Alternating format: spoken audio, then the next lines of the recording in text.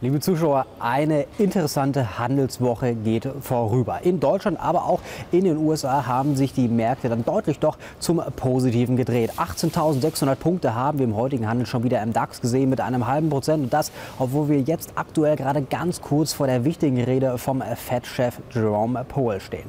Wir wollen natürlich wissen, wie die Woche so gelaufen ist und was die Konjunkturdaten gesagt haben. Darüber spreche ich heute mit dem Börsenhändler von der Stäubing AG, Herr Tim Oechsner. Herr Oechsner, schön, dass Sie heute wieder bei uns sind, um mal äh, ja, einfach reinzustarten. Die Handelswoche ist rum. Wie ist denn die Stimmung der Anleger? Ja, die Stimmung der Anleger ist gut, Herr Kemper. Die Konjunkturdaten waren doch alle äh, relativ positiv die Woche auch. Ähm, verschiedene Sektoren haben auch gut performt. Also zum Beispiel, wenn ich jetzt in Deutschland die Banken angucke, sind im Moment auch ziemlich stark. Die Deutsche Bank oder die Commerzbank. Die Deutsche Bank hat sich ja mit den Ex-Postbank-Aktionären entsprechend geeinigt. Also insofern, die ein, einige Sektoren haben wirklich auch sehr, sehr gut performt. Insofern, die Stimmung ist gut. Ähm, wir haben unser ähm, ja, unser Tief von Anfang August äh, vollständig hinter uns gelassen. Wir sind bei 18,6 wieder. Also wir sind von 17 wieder äh, zurück, haben 1600 Punkte wieder ins Plus gedreht und haben das Gap auch entsprechend geschlossen. Also die Stimmung ist an den Börsen im Moment sehr, sehr positiv. Ja, somit könnte man sagen, wir befinden uns ja jetzt fast wieder auf dem gleichen Level wie vor dem Black Monday oder sagen wir mal vor dem dunkelgrauen Montag vor drei Wochen, oder? Genau, richtig. Ja, also das haben wir eigentlich komplett hinter uns gelassen.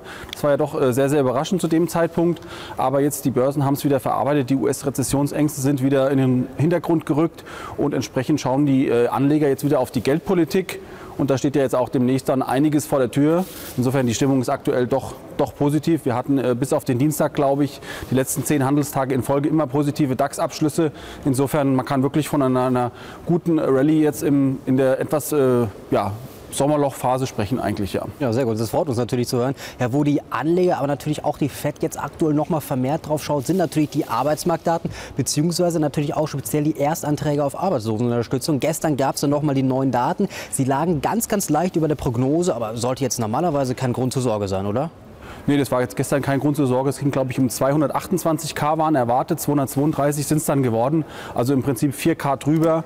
Ähm, die registrierten Arbeitslosen, die waren ja auch auf dem Level wie erwartet. Also insofern dieser Arbeitsmarktbericht, der war eigentlich in Line. Ähm, die Anleger hatten sich jetzt da keine großen, keine großen Gedanken gemacht. Was ich auch erstaunlich fand, war zum Beispiel am Mittwoch, ähm, wo zum Beispiel nochmal die Jahresrückblickdaten für den Arbeitsmarkt in den USA rauskamen und wo doch im Prinzip 818.000 Stellen weniger geschaffen wurden bis März 2024 als erwartet. Mhm. Und das das im Prinzip auch die Anleger so kalt gelassen hat. Das hatte mich diese Woche wirklich überrascht, dass dieser Bericht, der im Prinzip so eine Revision nach unten darstellte, im Prinzip nicht, nicht wieder zu Rezessionsängsten oder sowas geführt hat, sondern dass da im Prinzip die, die positive Stimmung auch nicht im Prinzip nicht gekippt ist und weiterhin äh, jetzt auf Jackson Hole, auf das Notenbank-Meeting geguckt wurde und auf die Rede von Jerome Powell. Ja. Ja. Glauben Sie, dass diese Arbeitsmarktrevision jetzt auch nochmal in die Entscheidungsfindung der FED mit reinspielen wird?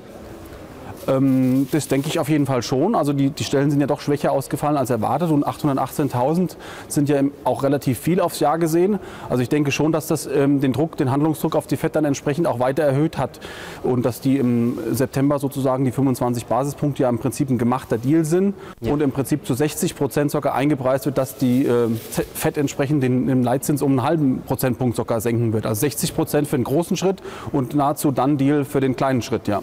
Ja, möglicherweise gibt es ja gleich noch ein paar Neuigkeiten von Jerome Paul. Wir schauen noch einmal auf den S&P Global. Es gab den PMI Dienstleistung, aber auch den Herstellungsindex wurden beide auch gestern veröffentlicht. Wie sind die denn beide ausgefallen? Ich glaube, die sind ein bisschen konträr zueinander gelaufen, ja?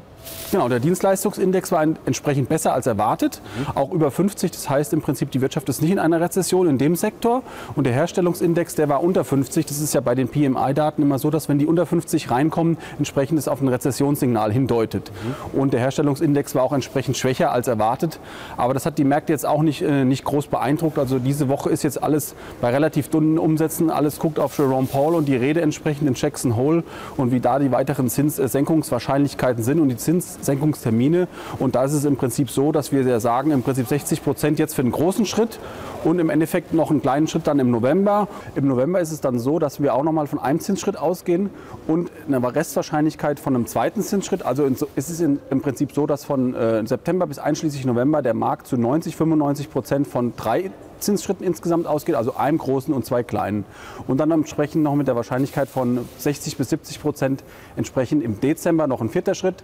Also der Kapitalmarkt preist insgesamt 75 bis 1 Prozentpunkt an Zinsschritten nach unten ein. Damit ist der Markt aktuell relativ optimistisch. Wenn wir auch überlegen, wo wir Anfang des Jahres herkommen, da hatten wir äh, geplant sozusagen sieben Zinsschritte nach unten. Die FED hat aktuell bis jetzt natürlich noch nicht geliefert. Aber jetzt sieht es natürlich so aus, dass sie im Prinzip drei bis vier Zinsschritte plant. Und wenn sie die dann auch entsprechend durchführt, ist dann entsprechend die Positivität der Märkte auch gerechtfertigt. Ja, wir sind gespannt, was wir gleich hören. Herr Oechsner, vielen Dank für Ihre Einschätzung heute. Danke Ihnen, Herr Kemper. Ja, liebe Zuschauer, das war eine ganz kurze Zusammenfassung der Woche der Konjunkturdaten. Und wie gesagt, wir sind natürlich darauf gespannt, was Jerome Powell gleich in seiner Rede so verlauten lassen wird. Ich hoffe natürlich, es hat Ihnen gefallen. Wir berichten natürlich darüber oder auch auf deraktionär.de. Vielen Dank, ein schönes Wochenende. Machen Sie es gut.